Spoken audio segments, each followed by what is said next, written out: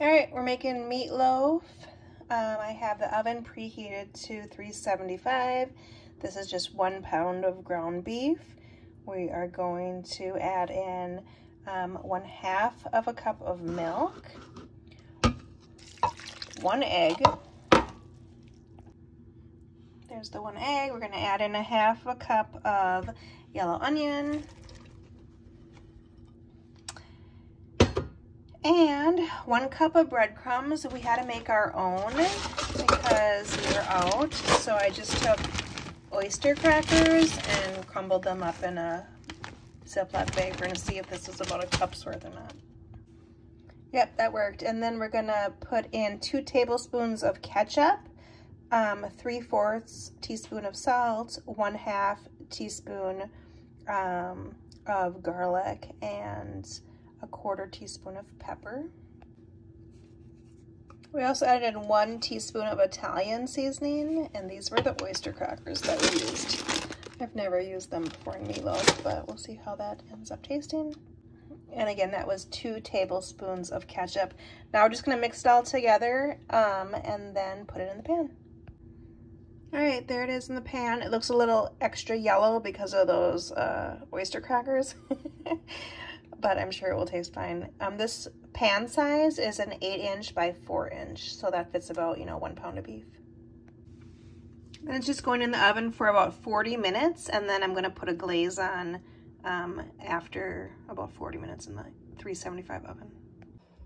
All right, so after it was in the oven for 40 minutes, then I pulled it out and I put on a glaze of a quarter cup of ketchup and two tablespoons of brown sugar and then put it in the oven again for another 20 minutes. So it's been in there for an hour. We'll see if it's at the right temp yet. All right, so it's ready to eat. It's over 160, which is what we needed for the temperature. So we can give it a try. All right, we already ate a whole bunch of it, but this is just an example um, of the other half of it. And we used 80-20 beef. Um, it did have a lot of the fat at the bottom of the meatloaf pan. Usually we use the 90-10 meat, but again, we used what we had. So just be prepared, like if you're going to stick in the meatloaf pan and you're using the 80 the 80-20 um, percentages for the beef, that it will have more fat on the bottom. Some people will use that to make, um, you know, gravy or whatever. But for us, we would just throw that away. so, so if you prefer using like the 90% instead of the 80%, then you won't have all of that at the bottom of the pan. All right, now we're gonna make the potatoes. I am using these um, red potatoes.